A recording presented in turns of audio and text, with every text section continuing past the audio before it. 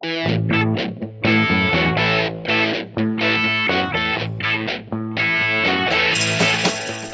uh, today's little job really is uh, is what are we going to do about the windows as a camper van? So clearly, as a people carrier, there's no need to have um, any blinds on it, and um, there are a number of ways that uh, that I could tackle the problem.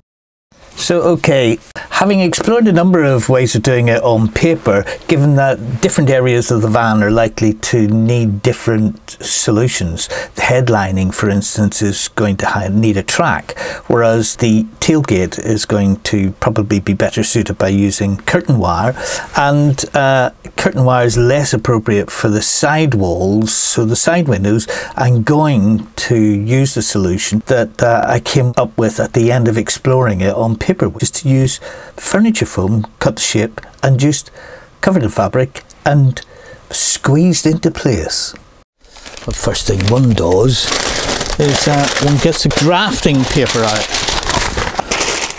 Um, I've used this to create um,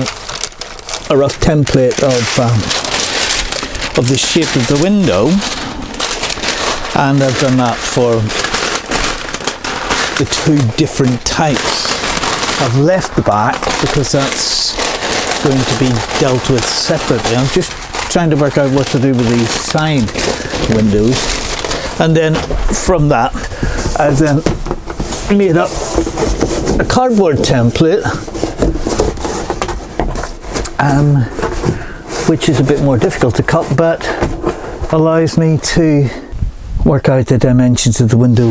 more exactly and um, so for now that's what we've been up to up to today and um,